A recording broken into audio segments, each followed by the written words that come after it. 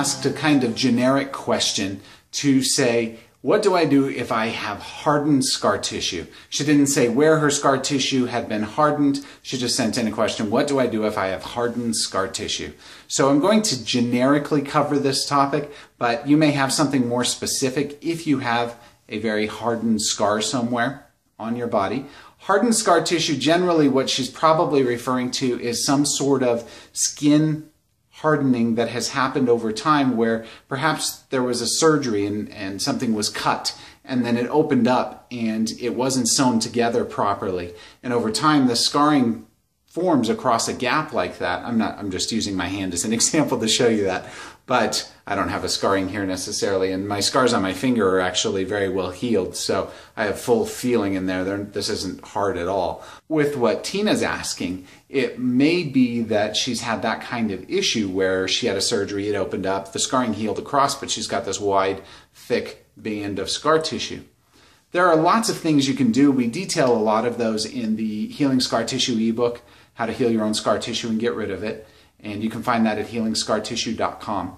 Generally speaking, what I would say is find a really good natural oil, all natural oil, or buy some 100% cocoa butter. You can buy it in these blocks uh, that actually they take the cacao bean and they roast it, grind it up, and it gets separated into cocoa powder and cocoa butter by a giant press.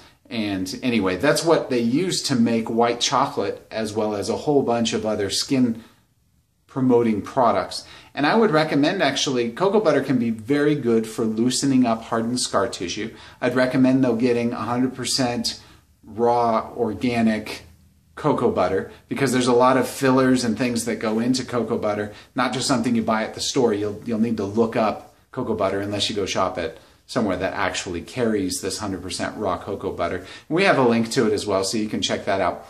But I really recommend trying that, putting some cocoa butter on there every day for at least two or three weeks and seeing if that helps it start to loosen up. So what you'd want to do is take your cocoa butter, rub it on there, and really rub it in, really rub it in. Maybe take two or three minutes and just keep rubbing back and forth across that scarring.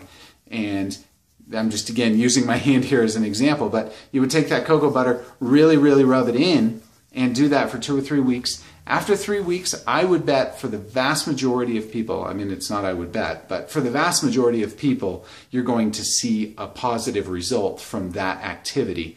And I would bet that it's the same for you, Tina, or for anybody else really watching this video. If you'll take that cocoa butter and rub it into the hardened scar tissue and do that consistently over two to three weeks, you'll feel that start to loosen. And from there, then you can use some of the other techniques we detailed.